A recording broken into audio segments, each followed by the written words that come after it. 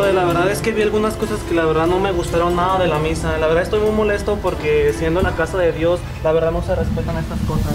Vamos para acá para platicarle. Sí, sin comodidad. Ahora sí, antes de que me platiques qué es lo que está pasando, ¿cuál es tu nombre? Mi nombre es Alejandro, padre. Alejandro, dime qué es lo que pasa. Te escucho. No, pues es que la verdad yo estoy muy molesto, padre, porque he visto muchísimas actitudes incoherentes en la casa de Dios. Yo, la verdad, es la última vez que vuelvo a venir a la iglesia. Vi muchísimas actitudes, comportamientos que la verdad, pues no van. Primero, cuando llegué, intenté hacer oración, padre. Yo siempre cuando llego intento hacer oración. Llegaron unas niñas y estaban corriendo por todo el templo. Nadie les dijo nada. Me pasaron por los pies, corrieron y no tenían papás que les dijeran nada.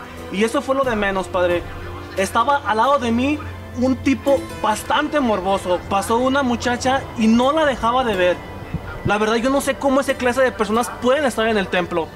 Después volteo a mi lado izquierdo y unas señoras estaban criticando los zapatos de la otra persona, le estaban viendo el cabello, cómo se sentaba. ¿Usted cree que eso está bien, padre?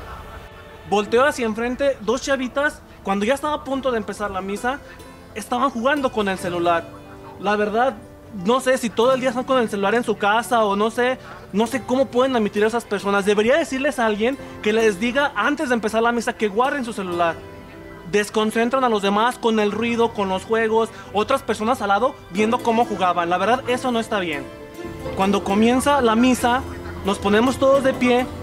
El coro empieza a cantar bastante mal. Eh, Creo que son de los peores coros que he escuchado en mi vida. Horrible que cantaban.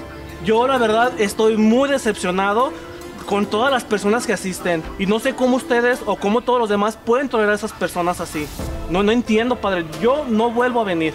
Sí, creo que yo quisiera decirte algo bien importante.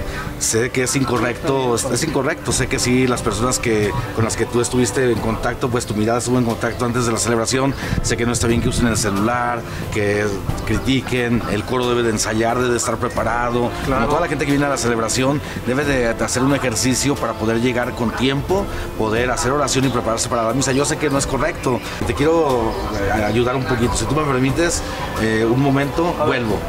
¿Te parece? Claro que sí, Ahora ahora vengo. pasa. Claro.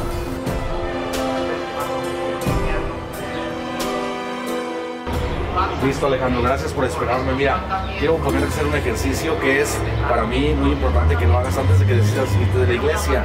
Eh, yo te decía, sí, has visto muchas actitudes que no están bien, pero ahora te pido que hagas este ejercicio con este vaso de agua. Vas a ir por todo el templo. El reto es que no tires ninguna gota de agua de este vaso, así como está lleno. ¿Asumes el reto? Claro que sí, ya vengo. Muy bien, te espero. Centra tu mirada en el vaso de agua para que no se tire ninguna gota, ¿de acuerdo? Te espero. No, pues muy fácil. Bueno, adelante.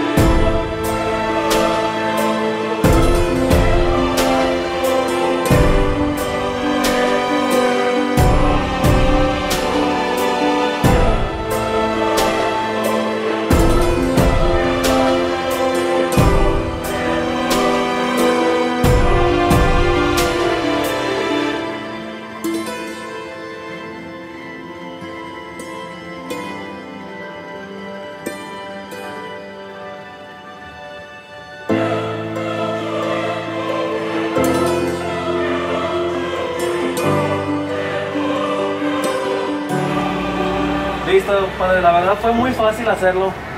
Eh, y quiero preguntarte algo porque finalmente es sencillo tal vez hacer el- este reto, pero qué bueno que lo lograste. Alejandro, ahora quiero preguntarte, ahora que ibas con el vaso en tus manos, que no se derramó ninguna gota de agua al piso, pudiste ver al chavo que estaba, al joven que estaba lanzando su mirada a la chica? No, padre. ¿Pudiste ver a las jovencitas que estaban con su celular eh, distraídas antes de la misa? No, pues no, ¿cómo podría hacerlo si estaba viendo el vaso? ¿Viste a los niños que iban corriendo y que pasaron a un lado de ti? No, tampoco. ¿Y el coro lograste percibir que estaba desentonado, desafinado, que cantaban feo como dijiste que era el peor coro? No, padre. ¿Y las señoras que criticaban, las viste? No. Bueno, pues mira, creo que esta es una gran enseñanza para todos porque el católico siempre tiene que estar bien centrado en, lo principal. Así como tú centraste tu mirada, ahí estuviste muy atento, tus pasos también tendrían que ser muy firmes, así también tiene que ser la vida del católico. Cuando venimos a misa, tendremos que centrar nuestra mirada en Jesús. Él es el centro de la celebración, Dios es el centro de nuestra vida. Cuando venimos distraídos y pensando en tantas cosas, cualquier situación nos distrae de las otras personas. Nosotros decidimos lo que queremos vivir y cómo queremos experimentarlo. Muchas felicidades, Dios te bendiga siempre. Felicidades. Alex, y antes de que te vayas, recuerda que quien sale de la iglesia por causa de la gente es porque nunca entró por Jesús. Muchas gracias, Padre. Dios te bendiga. Gracias, Hasta Padre. luego.